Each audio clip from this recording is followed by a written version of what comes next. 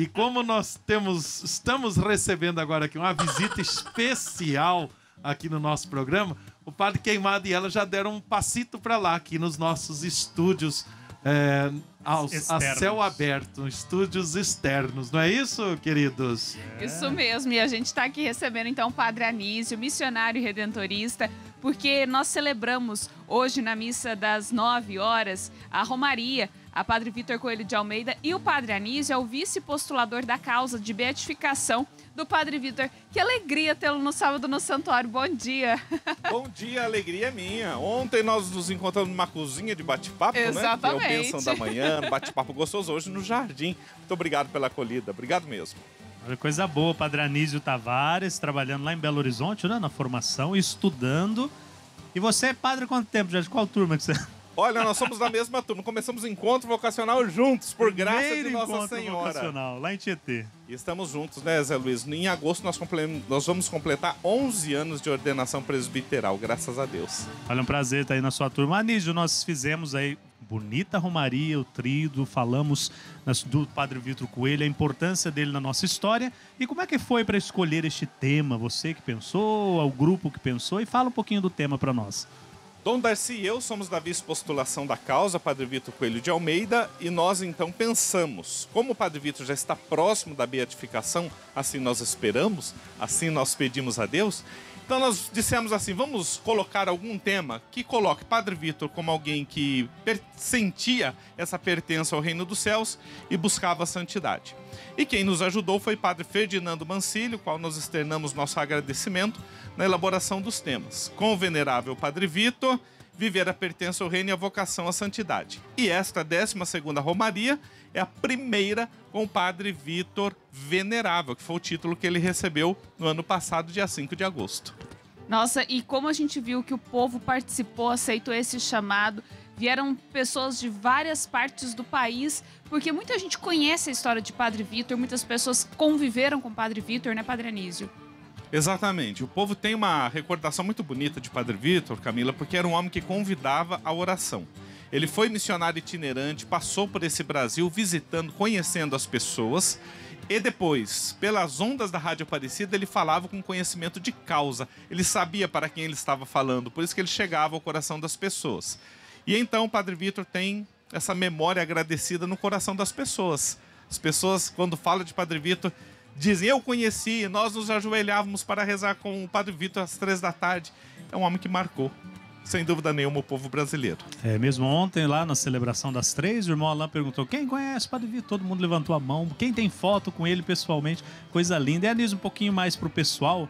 Como é que foi o seu relacionamento com, o Padre Vitor Coelho? Sabemos que você era pequenininho, eu também quando o padre Vitor Coelho faleceu.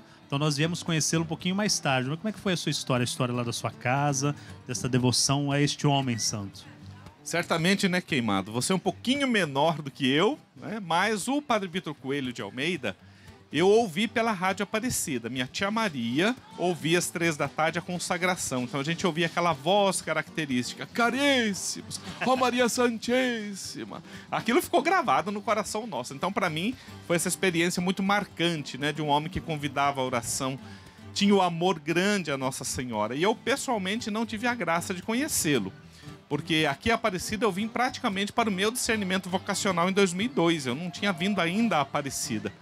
Mas o Padre Vitor Coelho passou em Avaré, sabia, Padre Zé Luiz Queimado? Passou lá. estão lá nas...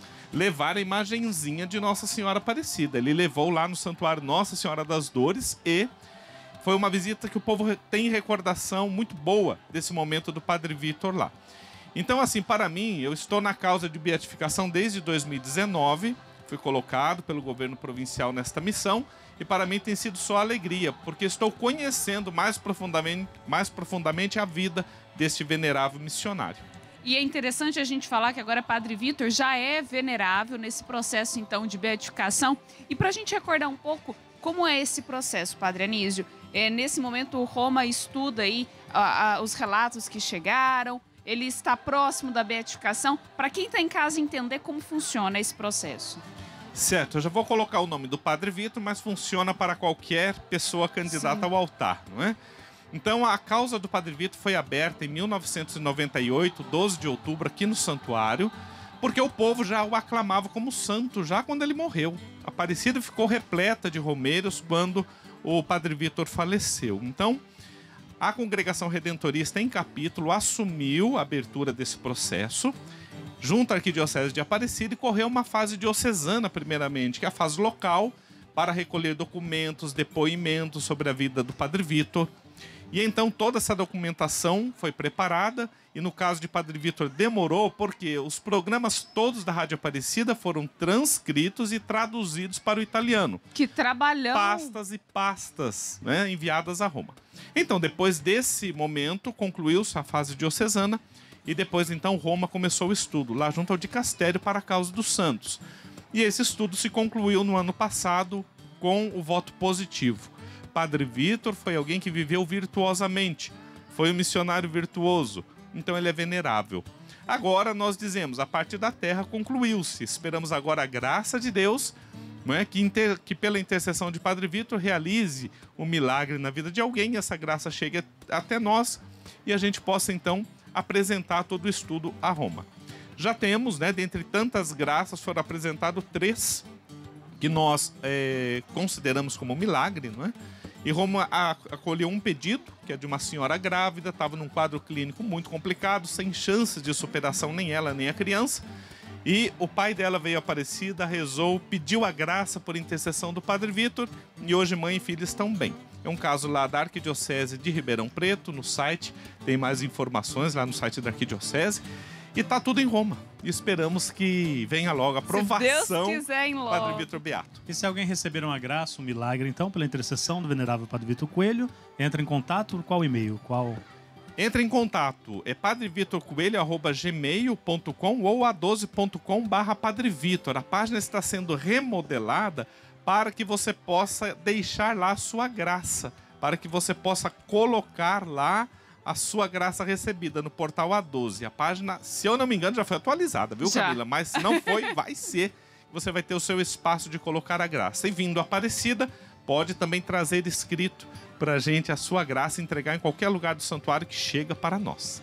Isso mesmo, a gente também já colocou aí no GC, para você que está acompanhando o sábado no santuário, Vamos pode ver se olhar eu falei certo, Aí né, Camila? aí, Falei ó. certo? Tá, é, olha lá, e-mail padrevitorcoelho.gmail.com, certo? Quase acertei, hein? Quase acertei. É isso mesmo. Isso tá mesmo, vendo? você pode mandar então o seu relato para esse e-mail. E a gente está rezando sempre aqui no Santuário Nacional. Padre Anísio eh, ontem até entregou para a gente né, aquele marca-página que foi feito com a oração para esse processo de beatificação do Padre Vitor Coelho de Almeida.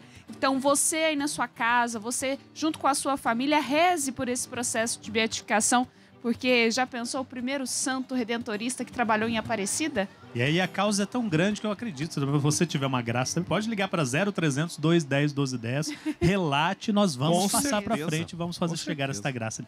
Anísio, muito obrigado pela sua presença, Ah, sempre falando muito bem, sempre aí evangelizando. Continue firme e forte na sua missão, tá bem? Muito obrigado. Obrigado a vocês que rezam também para que Padre Vitor seja declarado beato da igreja. Nossa gratidão.